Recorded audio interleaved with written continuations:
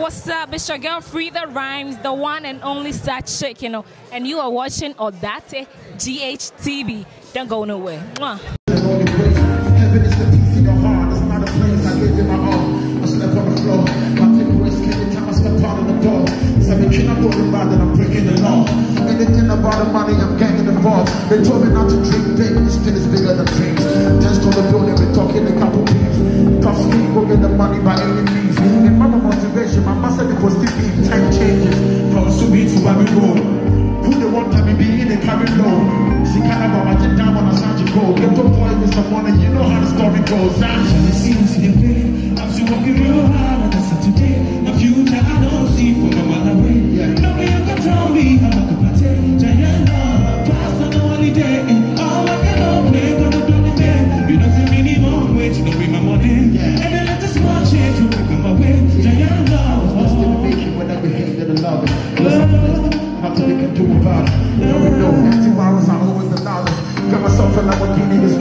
in. Used to hang around the corner 2003. The Jerry D still a yard I love on the street. I remember how we hold me to sleep in the heat. Now they gotta pay me just to sleep in a beautiful suite. I thought I told you I was gonna be one of the best. I spoke to be high, can I get J on the test? That's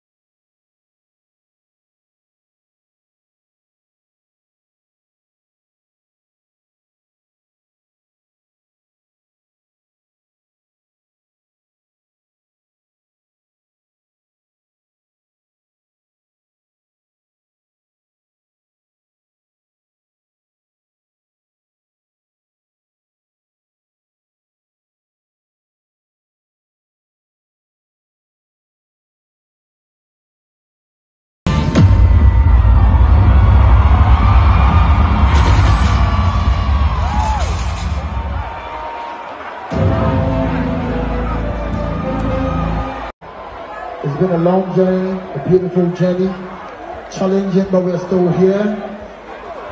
Blessings to Ghana music.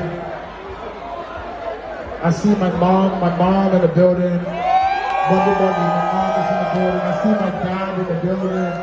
Mr. Owusu, I see you. My big sister already came here. So that's my big sister. She's she's uh, the second, right? The first one, she's the second. We have third and I'm fourth. And you see, so Sark Nation, when you guys think you go hard, my sisters are the biggest Sark Nations you could ever find. These, these, these three girls, Yaya, Chewa, Madra, they go really hard. And I thank you. I see you, Aunt Sophie.